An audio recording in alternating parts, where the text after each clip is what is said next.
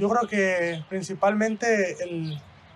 que el profe llegue en la situación en la que llegó con, con siete derrotas continuas le dio como una prioridad más a, a tener el orden prim- primordialmente que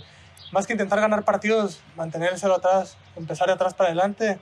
Y creo que eso nos ha dado buena,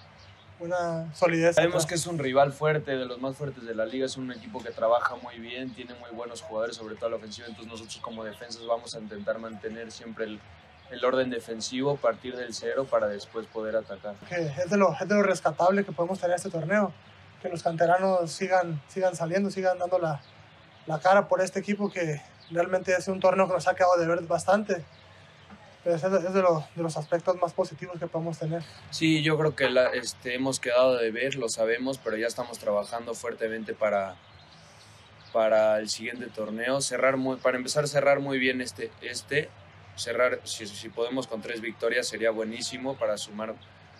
más puntos y, y pues, este, pues sí, hacernos fuertes, como dices, fuimos cinco canteranos, este, hacernos fuertes los que estamos en el club y confiados en que van a llegar buenos refuerzos y el siguiente torneo va a ser mucho mejor.